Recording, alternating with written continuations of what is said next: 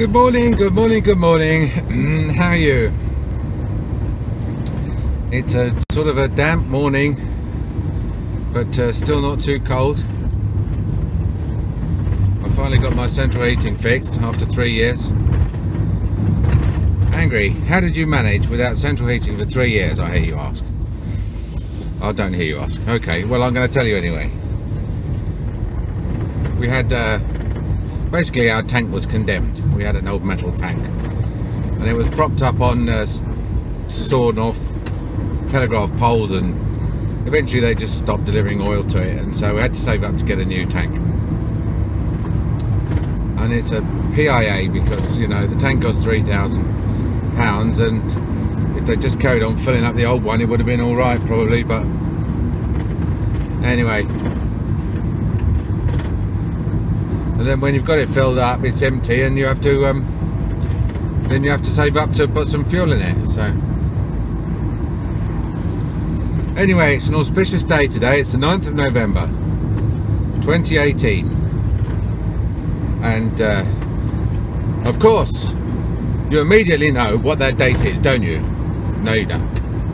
The 9th of November 2018 is the day that the GDPA would have turned 65 if it had continued in its, its you know in its incarnation as a representative body for general dental practitioners. So it uh, nobody's too sure because uh, the records of that time are sort of buried quite deep you know quite lost.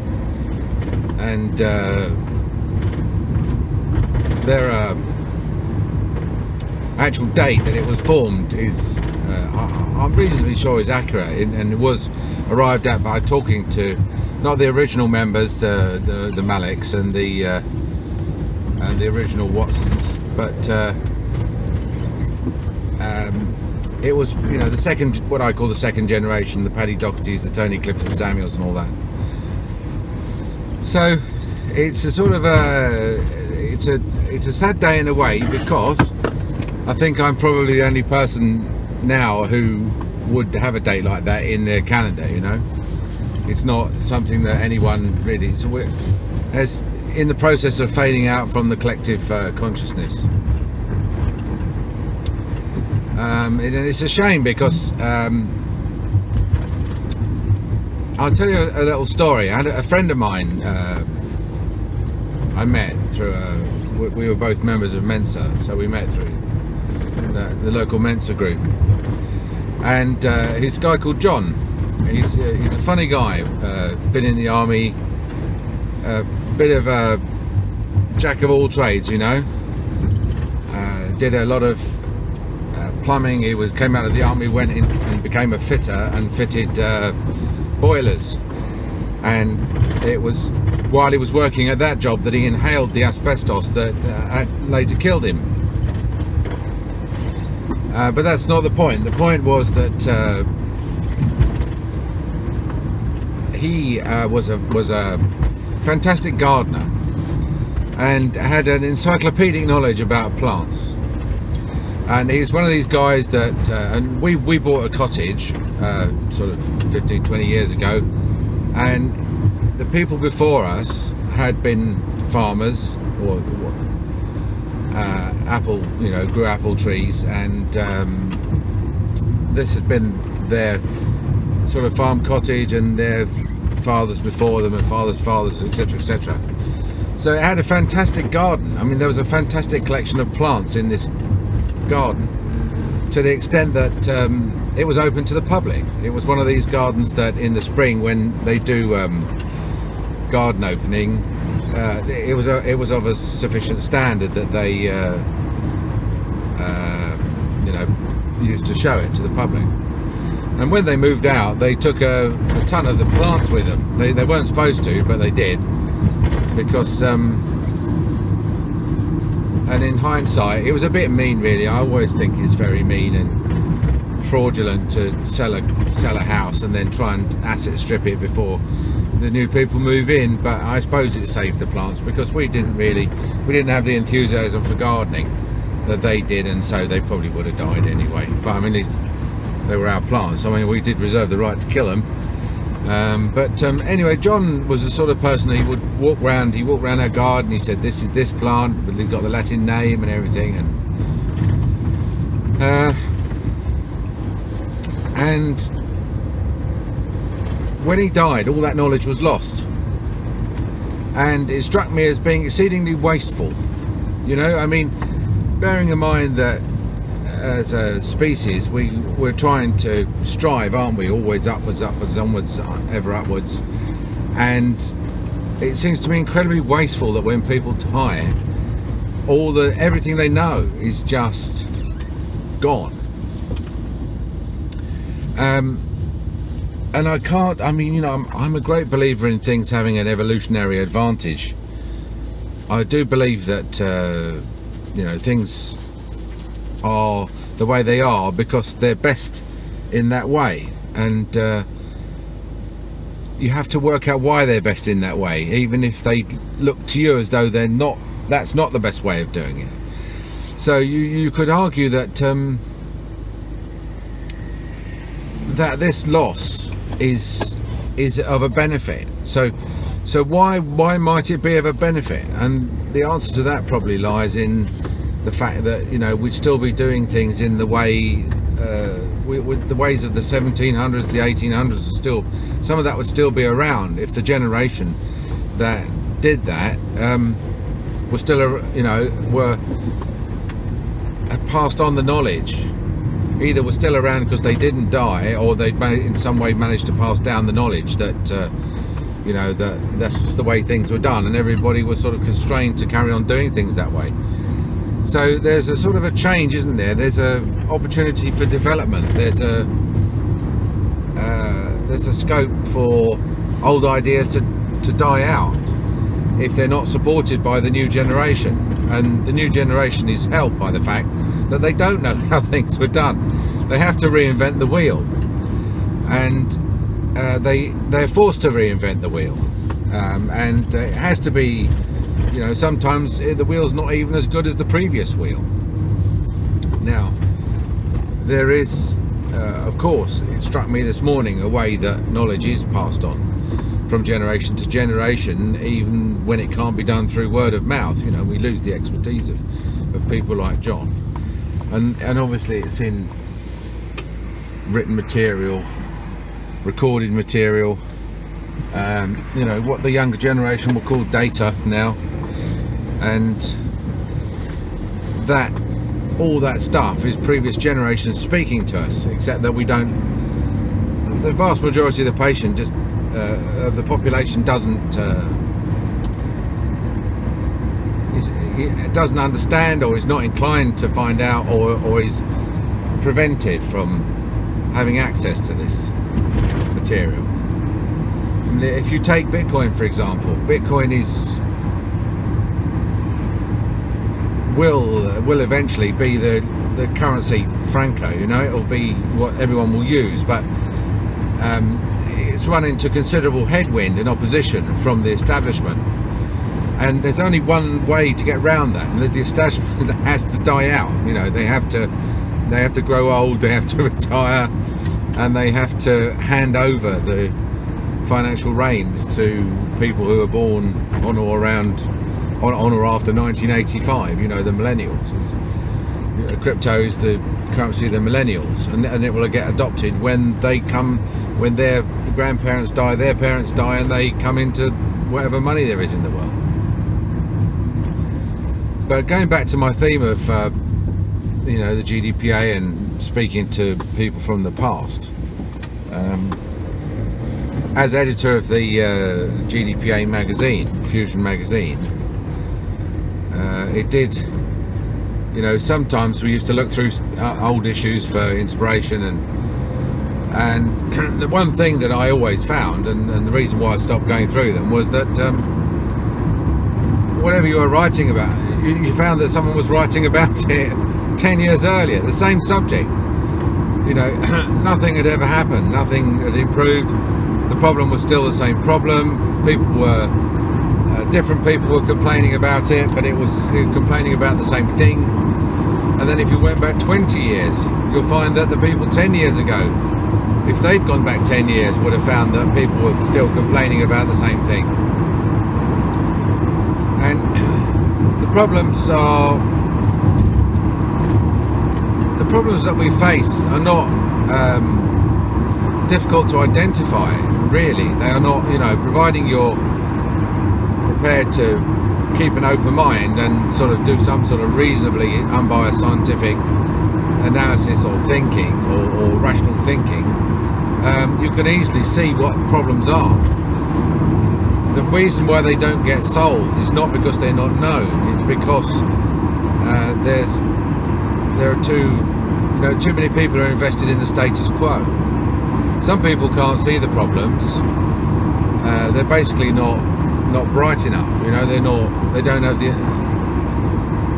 the mental capacity. And this this I think was the case with um, the chief dental officer Cockcroft. I just don't think he was intelligent enough to see how the service could be improved, and chose a route which was doomed to failure, and he's and he's now failing. You know, has now failed. Um, but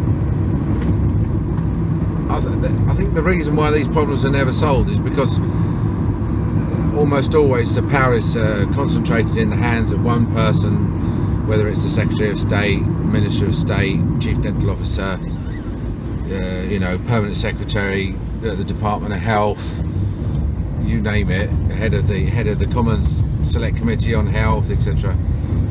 And these people are not. Um, they're very much like weather forecasters who would come along and say, well, uh, the weather today is going to be pretty much like it was yesterday. So, if you thought that you might need to take an umbrella yesterday, then more or less you might like to think about whether you need to take an umbrella today. You know? And 80% of the time, that would be correct. You know, that would that that works, that approach, most of the time which is, I think is why it's adopted. But um, back to the sort of the real topic, which is the 65th anniversary of the of the GDPA. Um, you know, it's it's interesting. I've got you know I'm nearly at work now. I've got about five, six, eight minutes or something to sort of try and put down what I think about the GDPA. I wasn't involved in the early days, in, in the very early years. Um, uh, I tried to uh, be some, something of a bridge between the GDPA. I was on the GDPA Council and and the BDA's uh, GDSC, which was the General Dental Services Committee, which was their uh, internal subcommittee that represented general practitioners. So I had a foot in both camps and was roundly roasted by Brian Lux of the GDPA for trying to do that.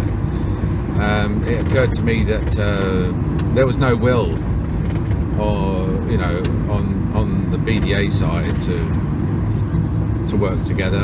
And um, and that was not because you know that was because they were actively I mean look, some of them were actively hostile to the GDPA but it was basically you know it was like the Americanism American exceptionalism type approach where they had a BDA exceptionalism where they were like well we, we don't need we don't need you. You know we don't need anyone. There is only us.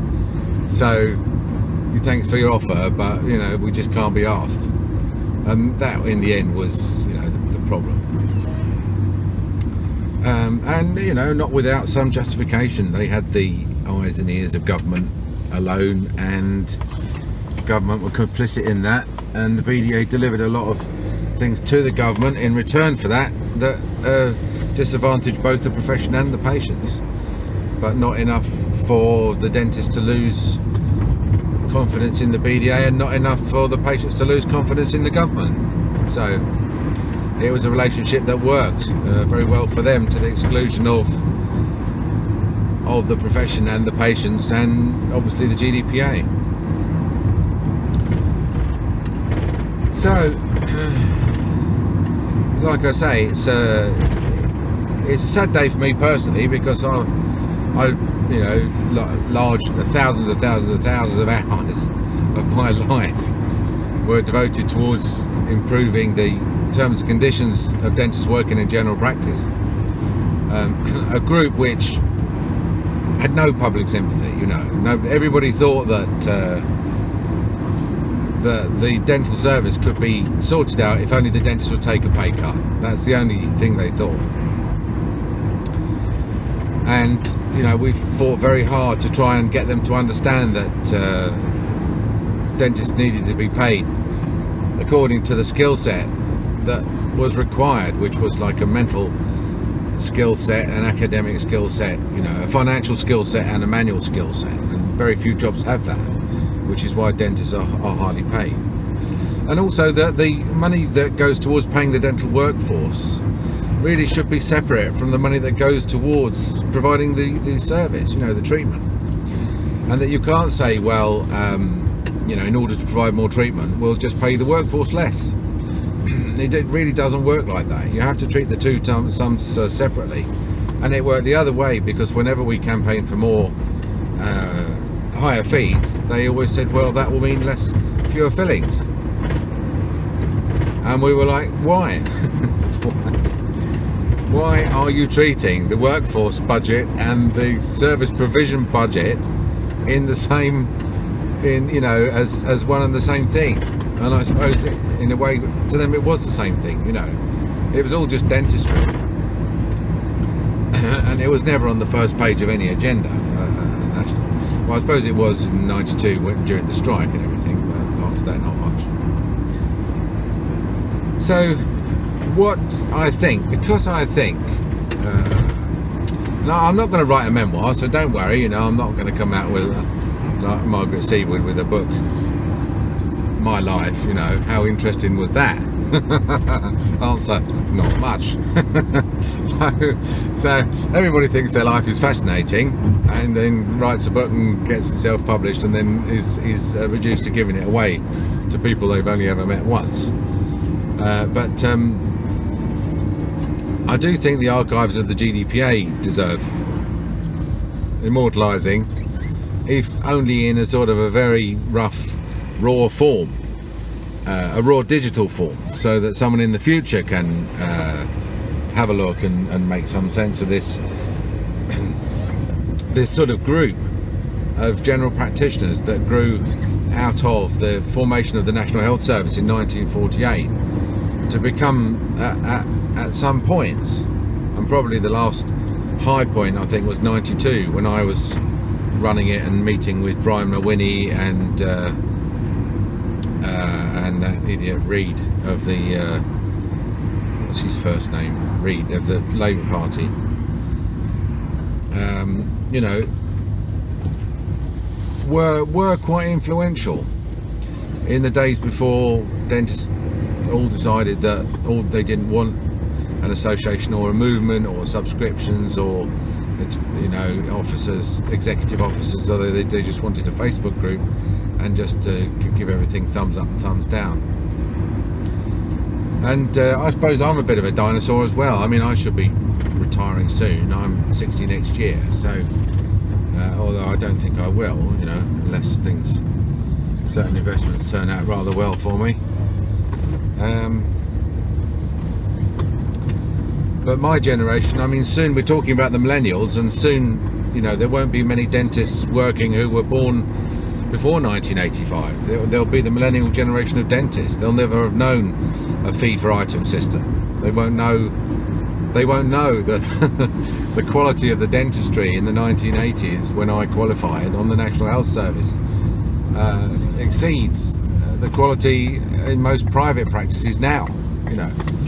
They won't know a time when you could uh, fall out of your front door and hit your head on a National Health Service dentist almost wherever you were in the country. They won't understand it, they won't believe it, you know. And the old way of doing things, I'm determined that the old way of doing things, which I firmly believe was a better way, the self-employed subcontractor, and not the sort of the micromanaged service that we've got at the moment, where uh, you know the collectivist approach, the, the um, socialised medicine, the uh, approach, which produces all the appalling stories that I have so much fun telling you about every morning. Um, I don't believe that that is the best approach. I think I, I'm sad to say that we went in my lifetime from from a, an excellent system to a rubbish system. We really did. We really did. I mean, I and I wanted so hard to be able to say at the end of my career that you know I'd improve things and and and I always knew that there would be as many people with decay when I retired as there there there were when I qualified. I mean, I didn't expect to um, you know solve the problem of stupidity and decay, but I honestly thought that we'd be better set up to deal with it. You know, we'd have a better system.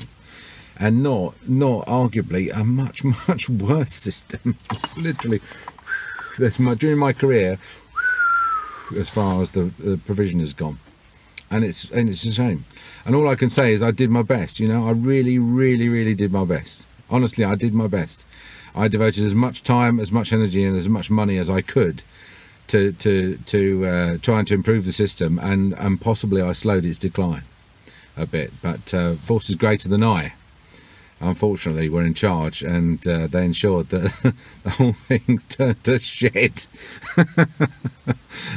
anyway so that's my perspective on my career since 1979 in the GDPA, and uh, and many happy returns GDPA. 65 today. I shall be having a I shall be having a drink tonight to celebrate your 65th birthday.